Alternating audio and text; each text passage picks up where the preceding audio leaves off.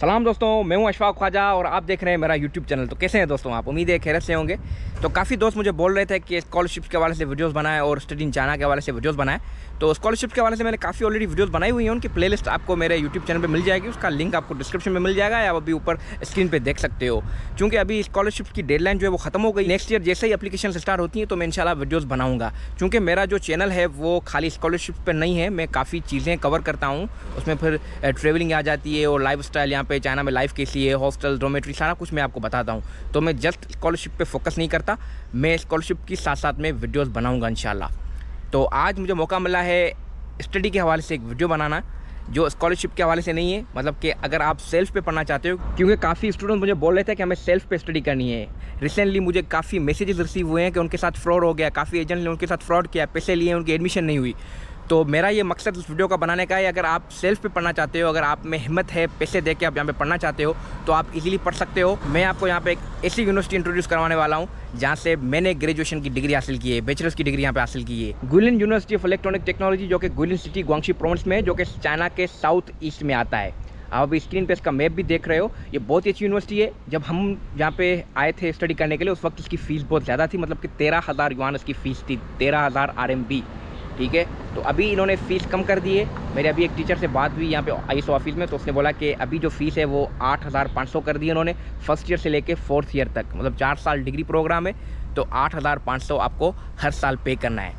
तो इसके अलावा डोमेट्री की जो फ़ी है, वो अगर आप फोर्थ बेडिंग में रहते हो, चार बंदों वाला जो कमरा है उसमें रहते हो तो उसमें आपको दो हज़ार पे करने अगर आप थ्री बेडिंग में रहते हो तो उसमें आपको तीन हज़ार पर बंदे के पे करने अगर आप डबल बेड में रहते हो, दो बंदे एक रूम में तो आपको चार हज़ार पे करने अगर आप सिंगल रूम लेना चाहते हो सिंगल रूम की हम पे ऑफ़र है, आपको आठ हज़ार युवान पे करने होंगे। साढ़े आठ हज़ार युवान जो होते हैं, वो आज की करेंसी के हिसाब से पाकिस्तानी कोई तीन लाख पैंतालीस हज़ार रुपये होते हैं।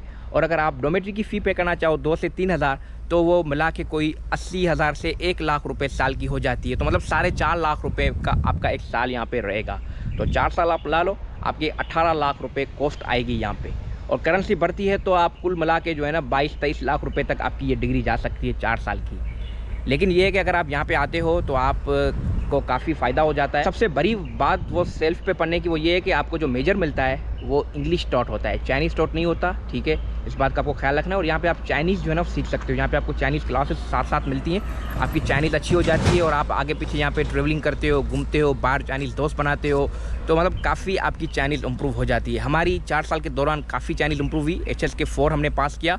हमारे काफ़ी दोस्त है यहाँ पे तो हमें काफ़ी फ़ायदा हुआ यहाँ पे सेल्फ पे पढ़ने का। और मैं अपना खर्चा बताऊँ तो मेरा जो है वो चार साल में उस टाइम के हिसाब से अपना मंथली खर्चा, ये सारा कुछ लगा क्योंकि उस टाइम पे जो करेंसी थी वो बहुत ही कम थी। कोई जब हम आए थे तो सोलह सत्रह रुपये थी और आखिर में जाके कोई बाईस तेईस रुपये हुई थी।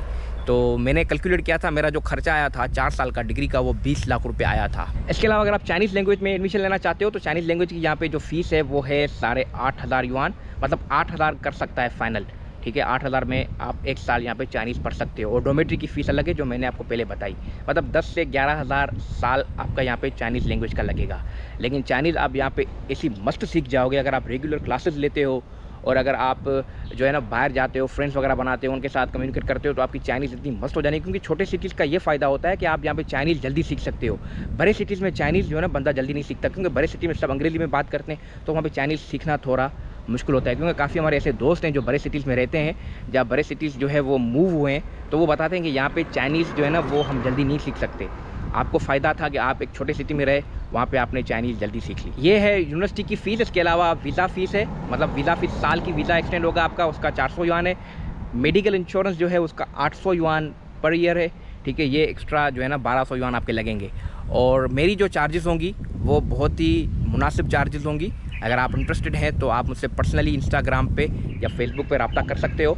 मैं इनता ही जो है ना मुनासिब चार्जेस आपसे लूँगा, ठीक है ना? क्योंकि आपकी एडमिशन हो जाए, मेरे लिए काफ़ी है। बाकी अगर आप रियल में चाइनीज़ लैंग्वेज सीखना चाहते हो क्लासेस अटेंड करना चाहते हो, अगर आप वाकई में बैचलर्स डिग्री हासिल करना चाहते हो बैचलर्स सही तरह से करना चाहते हो तो मेरी रिकमेंडेशन आपको ये है कि ये यूनिवर्सिटी आपके लिए एक बेस्ट ऑप्शन है। क्योंकि यहाँ पे आप सिटी से थोड़ा दूर हो, आप आपका फोकस खाली स्टडीज़ पे होगा लाइब्रेरी यहाँ पे है क्लासेस से आप आओ, अपने रूम में स्टडी करो सेल्फ जो है ना अपनी यहाँ पे रूम में कुकिंग वगैरह करो। बाहर आप जा सकते हो, आप डेली जाना चाहो तो डेली जाओ, अगर आप वीकेंड पे जाना चाहो वीकेंड पे जाओ छुट्टी में जाना चाहो, आपकी मर्ज़ी है, आपको कोई नहीं रोकेगा। काफ़ी सारे लोग यहाँ से ग्रेजुएट होकर चले गए हैं, काफ़ी दूसरे कंट्रीज़ में भी गए हैं, काफ़ी चाइना की दूसरी यूनिवर्सिटीज़ में मास्टर्स या पीएचडी कर रहे हैं। तो यहाँ की जो है ना स्टडी बड़ी अच्छी है। मतलब रैंकिंग भी बड़ी अच्छी है रैंकिंग काफ़ी इंप्रूव हुई है। जब हम शुरू में आए थे तो उस टाइम पे इसकी रैंकिंग थोड़ी कम थी, लेकिन अभी इसकी रैंकिंग जो है ना ऊपर आ रही है आस्ता आस्ता और सबसे मज़े की बात यह है कि ये university H E C higher education commission के पास भी जो है ना ये वेरीफाइड है। तो कोई मसला नहीं है एच से आपकी डिग्री जो है ना वो वेरीफाई हो जाएगी। तो ये है हमारी यूनिवर्सिटी की आई ऑफ़िस ये वो जगह है जहाँ पे हमारी ग्रेजुएशन सेरेमनी हुई थी। अगर आपने मेरी ग्रेजुएशन सेरेमनी की वीडियो देखी होगी तो आपने उस वीडियो में इस बिल्डिंग को देखा होगा। तो उस टाइम पे ये बिल्डिंग कुछ भी नहीं थी, ठीक है? मतलब कि आप ऐसा समझ सकते हो कि ये खंडर थी। अभी देखो, माशाल्लाह से कितनी ज़बरदस्त बनाई हुई है इन्होंने।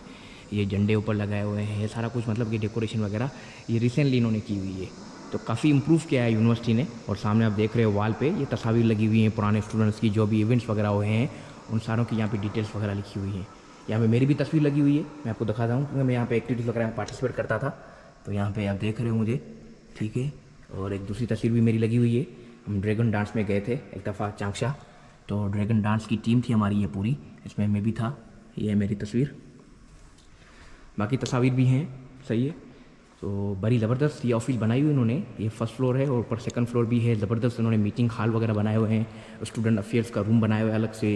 टीचिंग अफेयर्स का भी रूम बनाया हुआ है। काफ़ी चीज़ें मतलब के बनाई हुई मतलब हर चीज़ को उन्होंने सेपरेट से जो है ना बनाया हुआ है। यहाँ पे पार्क वगैरह बनाया हुआ है उन्होंने। ऑफ़िस के अंदर ही कुर्सियाँ टेबल वगैरह भी रखे हुए हैं कि जो स्टूडेंट आता है या कोई टीचर आता है तो फ्री टाइम पे यहाँ पे बैठ सकता है। पहले यहाँ पे कुछ भी नहीं होता था। ये खाली ऐसे ही होता था। कुछ भी नहीं था। इवन कि यहाँ पे दरख्त जो लगे हुए हैं ना साइड पे, ये भी नहीं होते थे। ये है स्विमिंग पूल आपने मेरी पुरानी वीडियो में देखा होगा ये स्विमिंग पूल वगैरह, लेकिन आज फिर मैं आपको दिखा देता हूँ इसकी भी रिपेयरिंग हुई है, इसको भी नए तरीके से बनाया गया है। क्योंकि चार साल हो गए हैं, मेरी लास्ट जो वीडियो थी, वो 2019 की थी और अभी 2023 चल रहा है। तो ये स्विमिंग पूल जो है ना, बड़ा अपडेट करके इन्होंने बनाया हुआ है। बड़ी अच्छी यूनिवर्सिटी है। एक बात है यूनिवर्सिटी की यूनिवर्सिटी के शहर से थोड़ी बाहर है। मतलब कि ऐसा समझ सकते हो कि आठ दस किलोमीटर जो है ना यूनिवर्सिटी वो शहर से बाहर है। तो बाकी ओवरऑल यूनिवर्सिटी बड़ी अच्छी है, अच्छी उसकी रैंकिंग वगैरह जा रही है आजकल। आप पुराना व्यू देखिएगा यूनिवर्सिटी का और फिर नया व्यू देखिएगा। काफ़ी चेंजेस हो गई हैं। ये जो इमारत बनी हुई है सामने, ये बिल्कुल ही नहीं है। स्कूल ऑफ़ मार्क्सिज्म और स्कूल ऑफ़ बिज़नेस ये बनाया है इन्होंने। ये 2019 के एंड में मतलब कि 2020 के स्टार्ट में इसका काम शुरू हुआ था। और ये कोई 2021 के एंड तक मतलब कि डेढ़ या दो सालों में ये बिल्डिंग इस तरह की बनी है। मतलब उसको एक साल हो गया अभी बिल्डिंग को।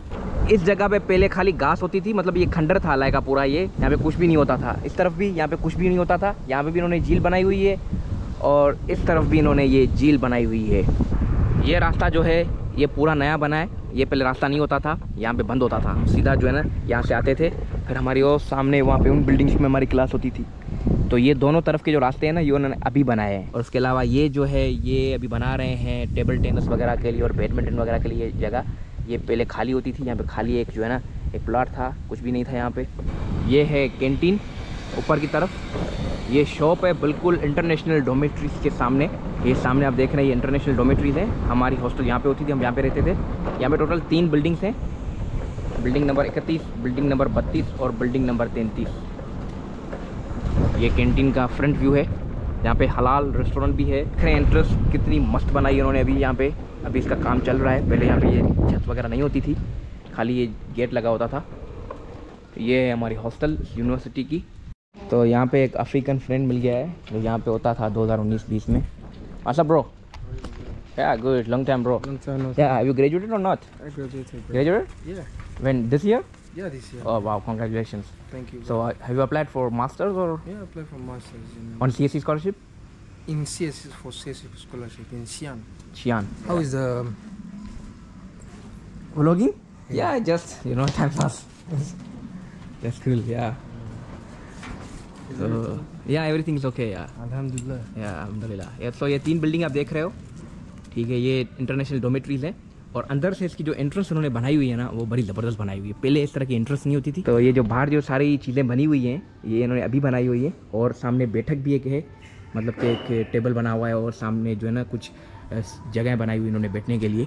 तो वो भी इन्होंने कोविड में बनाई थी, पहले नहीं होती थी मतलब 2020 से पहले नहीं होती थी। ये है इसका एंट्रेंस ये अभी बनाया है मतलब कोविड के टाइम पे इन्होंने बनाए थे, लेकिन अभी ये यूज़ नहीं हो रहे।